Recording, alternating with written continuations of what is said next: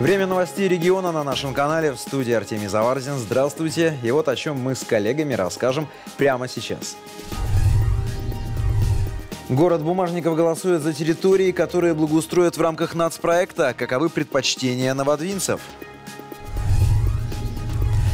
Музей в Березнике хочет рассказать о советском прошлом и готовит необычную экспозицию. Экспонаты собирают сами жители. От уровня их знаний можно выпасть в осадок. Школьники собрались на региональный этап Всероссийской Олимпиады по химии.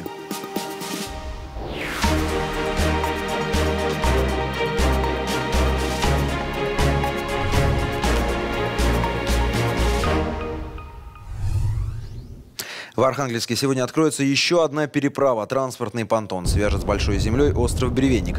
Он будет служить и автомобилям, и пешеходам. Обустроенной тропинки по реке в этом году не будет. Как только понтон запустят, буксир прекратит работу. Переправа на Бревенник станет второй, открытой в этот сезон в Архангельске. Северяне стали меньше нарушать порядок. К таким выводам пришли в областном МВД. Подведя итоги минувшего года, общее количество зарегистрированных преступлений сократилось на 4%. Показатели раскрываемости правонарушений в регионе по-прежнему значительно превышают среднероссийские.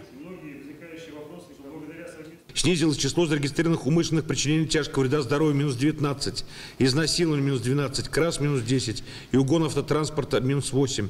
Меньше зарегистрированных преступлений, совершенных несовершеннолетним минус 11%. В минувшем году э, на должном уровне была обеспечена охрана общественного порядка при проведении почти 2000 мероприятий. Профессионализм полицейских помог избежать нештатных ситуаций, за что лучшие сотрудники были отмечены благодарностями. В Новодынске подводят промежуточные итоги народного голосования по выбору территорий для благоустройства. В рамках нацпроекта «Комфортная городская среда» могут преобразиться 8 общественных мест. Новодвинцы голосуют активно, предлагают и свои варианты. Исходя из сегодняшнего подсчета, у нас определился один четкий лидер. Это городской парк на берегу Северной Двины. Ну и также в тройку входит это детский парк и сквер около кинокомплекса «Дружба». Напомним, итоговое голосование во всех муниципалитетах пройдет 18 марта. Тогда в восьми городах и крупных поселках области определятся места для благоустройства за счет федеральной программы в этом году. Поиском интересных проектов и тех, кто будет готов их профинансировать, займутся специалисты корпорации развития Архангельской области. Пять инвестиционных кураторов, которые были отобраны в конце прошлого года и прошли обучение, уже приступили к работе в муниципалитетах региона. О работе кураторов на юге области в материале Елены Кермич. У Ларисы Селезеневой, пожалуй, самая большая территория. В ее зоне ответственности сразу семь муниципальных образований. Котловский, Верхнетоемский, Красноборский, Ленский, Велигодский районы, а также города Котлас и Коряжма. Это 148 тысяч жителей юга Архангельской области. В корпорации развития Архангельской области в настоящий момент находится на сопровождении несколько проектов, которые и предполагают размещение бизнеса на территории города Котласа и Коряжмы в ближайших перспективах. Сейчас э, рассматриваются рабочие моменты по подбору площадок на местах. Например, в Коряжме Лариса Селезенева курирует проект по созданию технопарка, специализированной зоны для технического развития детей и подростков. Это совместный проект правительства области, корпорации развития, администрации города Бумажников и частного инвестора. Благодаря их усилиям именно в Коряжме в конце 2017-го был открыт первый на юге Поморья Центр молодежного инновационного творчества. Его начинка – самое современное высокотехнологичное оборудование с лазером и программным обеспечением. Для подростков занятия бесплатные. Наши ребята получили доступ к новому технологичному оборудованию. То есть они могут в любой любое время, ну, естественно, под руководством опытных специалистов, э, проработать какую-то свою идею э, за компьютером в программе и вывести ее на 3D-печать. Три,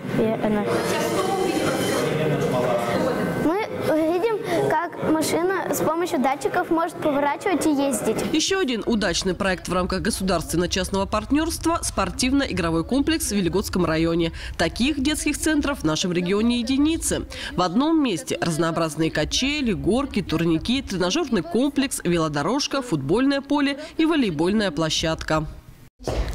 Очень рада с вами Задача инвестиционных кураторов не только сопровождение уже существующих проектов, но и поиск новых. Первый шаг к ее реализации – знакомство с территорией, выстраивание конструктивного диалога по взаимодействию с местной властью и потенциальными инвесторами, которые готовы реализовывать свои бизнес-проекты.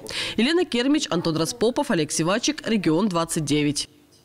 В Архангельске в эти минуты проходит региональный этап Всероссийской Олимпиады по химии. Накануне школьники писали теоретическую часть, а сегодня приступили к практической.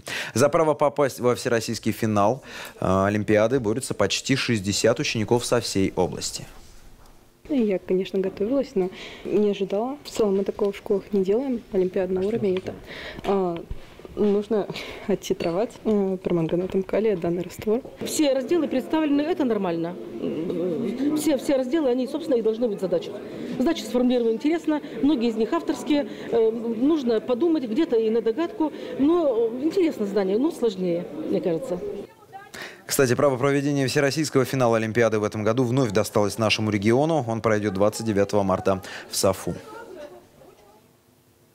Подарки для пожилых северян прибыли в Архангельск. Московский фонд «Старость в радость» уже не первый год организует сбор различных вещей и присылает их э, в регионы. Подарки предназначены для подопечных социальных учреждений. Из Москвы для северных бабушек и дедушек прибыло больше тысячи посылок. Каждую просматривают волонтеры Дома молодежи. Нельзя допустить, чтобы среди вещей оказались предметы, способные нанести вред, например, бритвы. Зато можно сладости, открытки и теплые вещи. И вот у меня еще здесь попало полотенце, ну, тоже что-то из текстиля. В принципе, состоят в основном подарки вот из каких-то таких э, мелочей. Это что-то из текстиля, это может быть игрушка, это могут быть варежки, шапочки, ну, что-то такое приятное, то, что можно использовать. Это обязательно сладкий подарок, их особенно много приходит. Вместе с москвичами поучаствовать в благотворительной акции могут и жители нашего региона. По словам волонтеров, сейчас не хватает подарков для мужчин. Дедушкам можно положить, например, варежки или теплые носки, которые будут греть их этой зимой.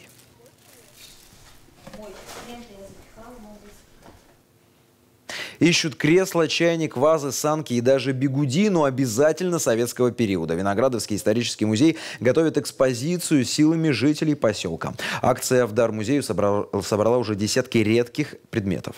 Эту швейную машинку Владислав Захаров принес в музей безвозмездно. Она перешла ему по наследству от мамы и до сих пор в рабочем состоянии. Раритет 62 -го года одним из, стал одним из экспонатов выставки. Помнится, что в то время такая швейная машинка стоила 40 рублей.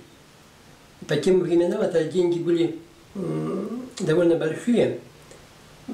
Помнится, что у моей бабушки пенсия была 30 рублей, а у мамы заработная плата где-то 60 с чем-то рублей. Так что, наверное, для ее приобретения э, надо было немного подкопить денег. Сотрудники музея готовы принять экспонаты из других районов. Для оформления выставки не хватает торшера, настенных часов, радио, электрических, бытовых предметов. Музей может принять вещи и на временное хранение. После закрытия экспозиции они будут возвращены владельцу. Вопреки многочисленным прогнозам, печатные СМИ не теряют своего постоянного читателя. читателя. Более того, как показывает опыт старейшего издания региона, газеты «Правда Севера», новости в бумажном формате становятся популярнее. За последние три месяца спрос на газету вырос почти в четыре раза. Еще никогда новости не были настолько доступны. Электронные информационные ресурсы настойчиво стучатся в каждый гаджет. Но вдумчивый читатель все чаще выбирает чтение в бумажном формате. В противовес поверхностному новостному потоку в газете ищут мнения и комментарии, развернутые материалы на самые обсуждаемые темы. Вот сейчас мельком пролистала и увидела, что про нейрохирургию есть новости. И также спортивные новости. Например, сегодня я получила паспорт болельщика на футбол. И тут вот тоже рассказывается, э, просмотрела про команду Новодвинскую, про девочек, которые гимнастки. В Роспечати даже немного удивлены. За последние три месяца спрос на «Правду Севера» вырос почти в четыре раза. Одна из причин – газета стала еженедельной. Вероятно, дело и в цене. Она упала до 28 рублей за экземпляр. Газета стала поступать каждую среду с полной программой на неделю. Много новостей, сдается давно, и Роспечать сотрудничает с «Правдой Севера». Впрочем, как отмечают в Роспечати, традиционных читателей, покупающих газету много лет подряд, постепенно разбавляют и новые приверженцы вдумчивого чтения, причем последних на глазах становится больше. Ирина Ившина, Наталья Пулина, Александр Кузнецов, Регион 29. Такие новости к этому часу. Ждем ваших звонков с предложениями, вопросами, интересными темами. Контакты редакции на экране. Не прощаюсь, скоро увидимся.